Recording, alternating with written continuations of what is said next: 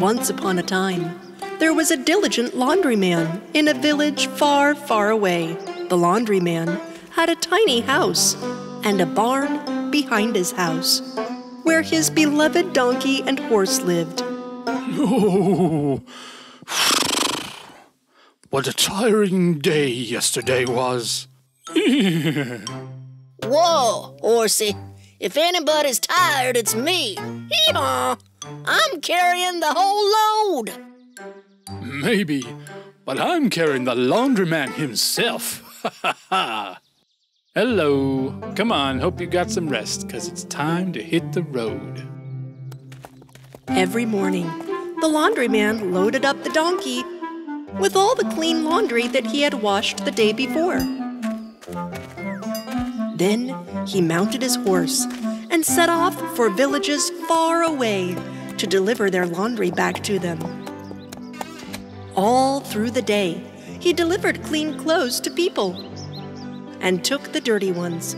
However, the donkey often grew tired because he carried all the laundry and was usually exhausted by the time he got back to the barn. He would eat and then fall asleep immediately. What are you doing, donkey? Sleeping already? I could go for a run around the barn. Of course you could. You are not the one who had carried all that heavy laundry.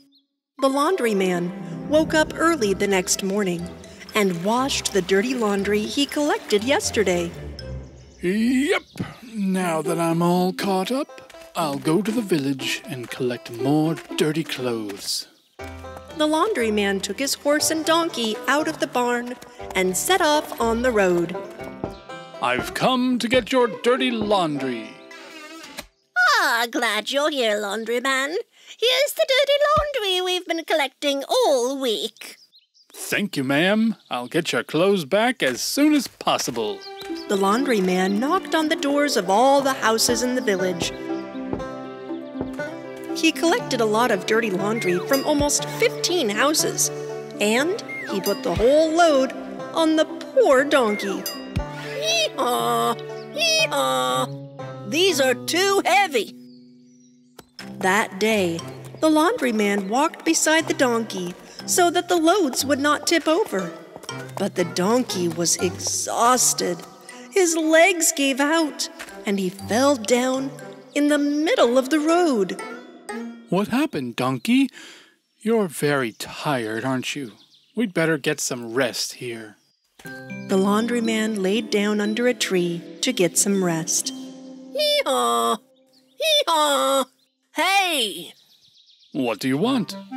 I just wanted to say that today my load is heavier than usual. Couldn't you just help me a little? Sorry, donkey, but it's not my job to carry laundry. The laundryman finally stood up and they were all on their way again. They took a few steps, but suddenly the donkey fell to the ground again. Hee-haw! Hee-haw! oh, my poor donkey. Sorry, I made you very tired today. Come on, drink some water. The laundryman took all the laundry off the donkey and put them onto the horse's back.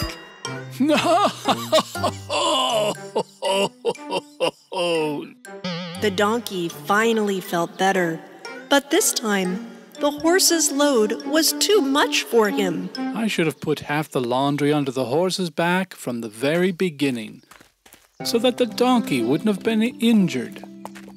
Since the horse did not help the donkey, he had to carry all the laundry on his back all the way to the house. When he got to the barn, he couldn't even eat because he was exhausted. I did something selfish today, my dear friend. I'm sorry. Please forgive me. Now you understand me better. Helping and sharing is important. Hee-haw! Hee-haw! Never forget that, my dear friend. From that day on, whenever the laundryman had a lot of laundry, he took care to share the load between himself, the donkey, and the horse. In this way, they were less tired and had more fun.